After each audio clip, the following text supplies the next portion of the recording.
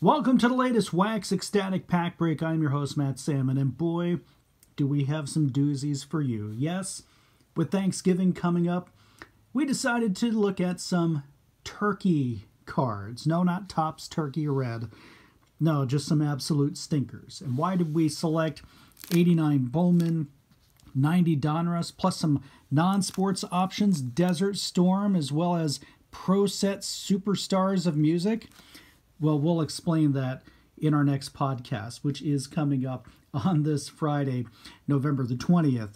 And uh, we'll get into the details of why we selected these and perhaps some other turkeys that you're well aware of. But hey, we've got a ton of cards to open up here, so let's open them up. Let's start with one of the ultimate turkey sets of all time, 1990 Donruss here. We do have a couple packs to open up. Let's at least see what players we have in here. Maybe we have the one card that redeems these packs. That, of course, would be Ken Griffey Jr. But we start with Tim Burke of the Montreal Expos, the Cobra, Dave Parker, then with the Oakland A's, Danny Tartabull with Kansas City, Mike Scioscia, Dodgers catcher, of course, longtime Angels manager, Dave Righetti near the end of his career, Rick Cerone, also, actually, I don't think he was near the end of his career. He still had a few years left. Sweet Lou Whitaker of the Tigers, Greg Brock of the Brewers, Joe Orsulak of the Orioles. Your Donruss Diamond King, Ellis Burks, uh, also very colorful. Nice little 1990 look to that card. Oh, the checklist. Even a checklist could look pretty terrible in Donruss 1990 style. Here is uh, one of the All-Star cards that was an insert.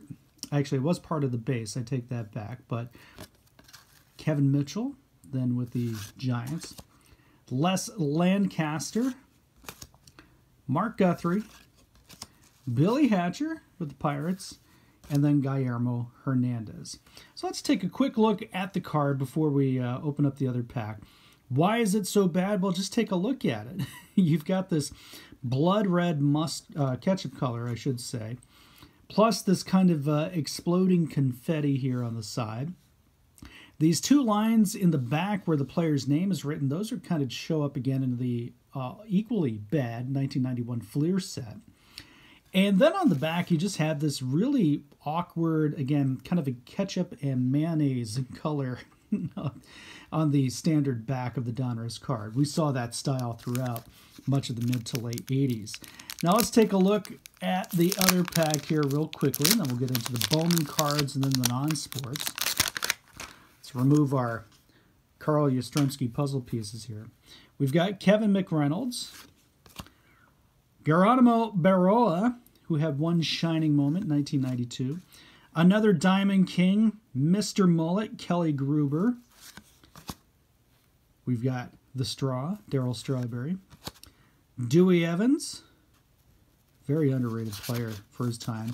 There you go, Barry Bonds. Okay, so this is uh, maybe 10 cents. Kind of redeems it. Oh, another checklist card with Zane Smith, too. So you know that checklist was made just for me. Putting on the Ritz with Kevin Ritz and the Detroit Tigers. Dennis Rasmussen. Terry Kennedy then with the Giants. Rance Mulliniks with the Blue Jays. Holy Sheets. Yes, Larry Sheets, then with the Orioles. Billy Spiers with the Brewers. Tim Jones. Yeah, Tim Jones of the Cardinals. Tim Wallach of the Expos. And finally, another legendary name in Expo history because of his legendary lumberjack beard. Yes, Bryn Smith.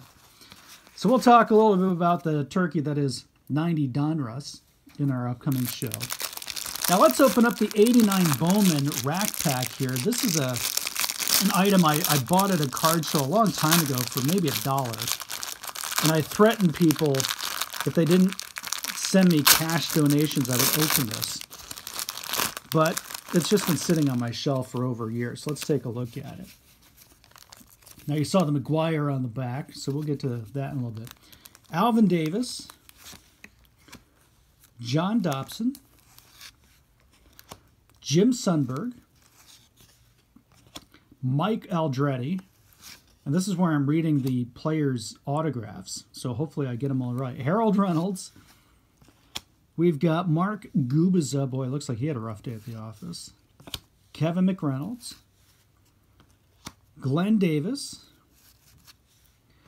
Dave Valle, one of my absolute favorites from that time. Uh, who do we have? This Gerald Young. Rance Mulliniks. David Cone. And Mark McGwire. So that McGwire card would, uh, I don't know, maybe 25 cents. Let's take a quick look at the backs, because this is one of the things I liked about Bowman cards back then, and especially 89. And again, we'll talk a little more about this in the podcast. But taking the standard statistics of a player, your usual listing of, you know, in this case, a pitcher. Let me find a hitter real quick. Teammate of McGwire's, Dave Parker. Your usual hits, runs, batting average, home runs, etc., etc. But breaking it down by statistic and by team. 1989 totals, career totals, a very unique way, plus a unique presentation too. This little 3D uh, prism that's going on there. I always thought this was very innovative. Others disagree. In fact, vehemently disagree. But I always liked this presentation of statistics on the back of Bowman cards. You would see it for the next few years. And unfortunately, you couldn't do that with a baseball card these days. Thanks to interleague play, you just wouldn't have enough space for all the teams that uh, a player plays against. Let's see, who do we have here? Andrew Benes. So Andy Benes. Ah, the Andy Benes twin spin. Look at that. And uh, this would have been an Andy Benes base uh, rookie card. Now this one's a little damaged here. How did this one fare? Yeah, this one's in much better shape. So uh, when Andy Benes had uh, his uh, brief flirtation with uh, superstardom, that would have been worth something. Hi, I'm Bob McClure. You may remember me from other film. Oh no, that's Troy McClure. Dave Stewart. He knows you farted on his couch and he is not pleased. We got Tom Niedenfuer.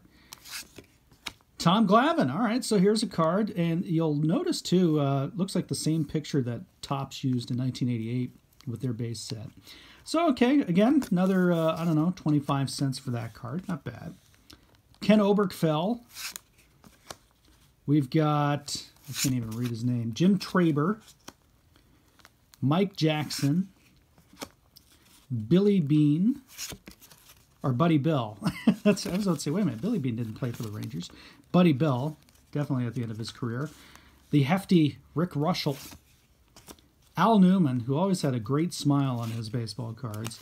And then we've got Mike Moore on the back. All right, last cards here. So these were the uh, insert cards you had the reproduction they were kind of art cards so this is a uh, 48 bowman or 49 bowman of richie ashburn so even though that was you know a contest entry card it was kind of neat to look at all right who we got here steve lake jim abbott this card was actually i recall worth like a dollar or so back in the day i had it mark grace would have been a big star card then kevin mitchell there looking like he's about to clobber you with that bat Lee Smith looking rather pensive. Jerome Walton. We've got Pat Clements, or Pat Combs, excuse me. The big cat, who looks actually kind of tiny on that picture there, Andres Galarraga. Jody Reed, infielder extraordinaire with the Boston Red Sox then. Let's see, who's this? Brian Meyer with the Astros. Wally Backman then with the Twins and uh, clearly needing to see an eye doctor here because he's uh, squinting. That, of course, would be Rick Honeycutt. So we'll talk about the turkey that is 89 Bowman. But is it a turkey or is it more canned cranberry sauce? Leaning towards the canned cranberry sauce. And again, we'll explain in the podcast.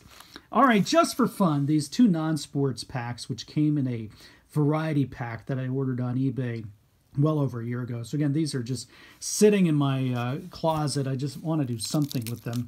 Operation Desert Storm Victory Series. Remember these cards? Not only did Topps have your Desert Storm cards, but Pro Set did as well.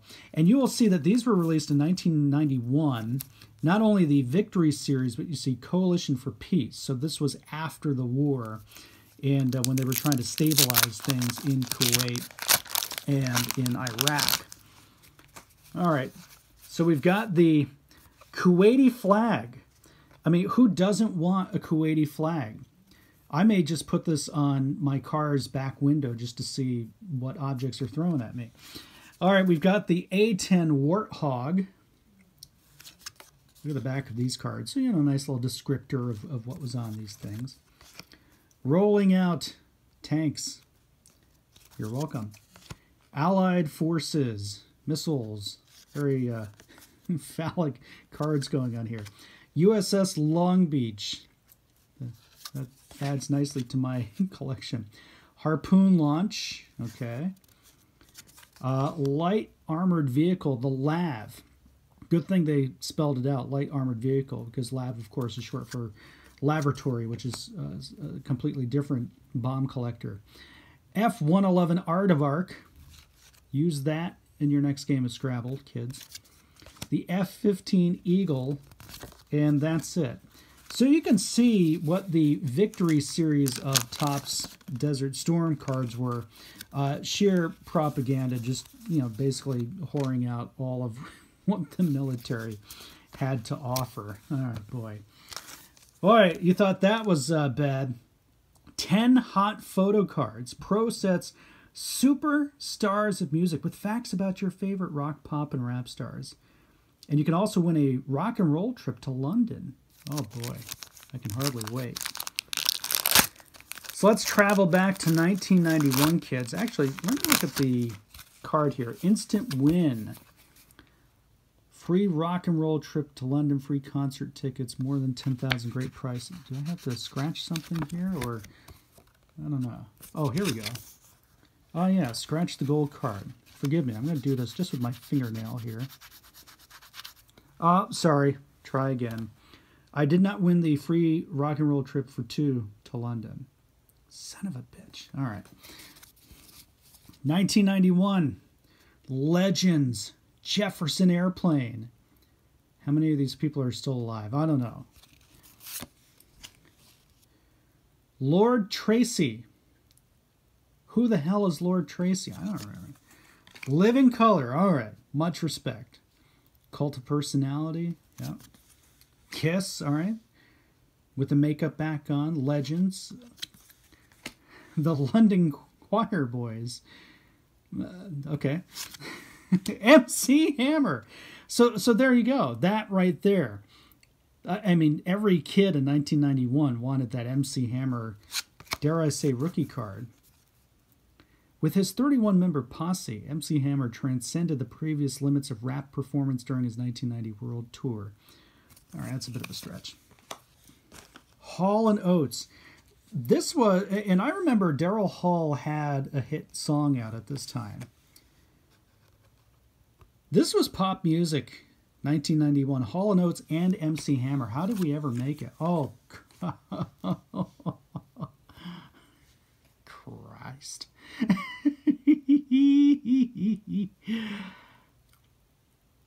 yeah, we'll talk about Robbie Van Winkle in the next show. I've got a great Vanilla Ice story.